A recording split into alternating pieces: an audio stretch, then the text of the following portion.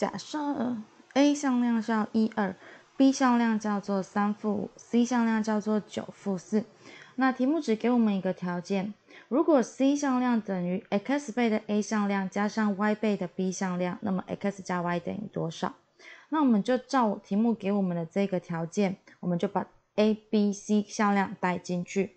好，九负四会等于 x 倍的 A 向量加上 y 倍的 B 向量。好，所以呢，我们把我们等号的右边整理一下，那么 x 乘以一加上三乘以 y，所以 x 分量就是 x 加三 y，那 y 呃，y 分量呢？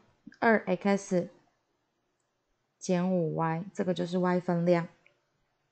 好，那我们就可以知道，x 分量要等于 x 分量，所以 x 加三 y 等于九。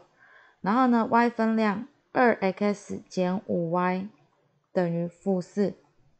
好，第一式、第二式。那我们把第一式呢乘两倍。二 x 加六 y 等于十八，然后第二式，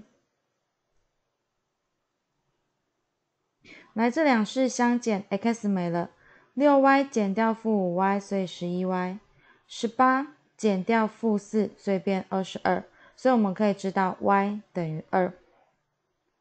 好啊，代入第一式，x 加三 y，所以就是 x 加六等于九。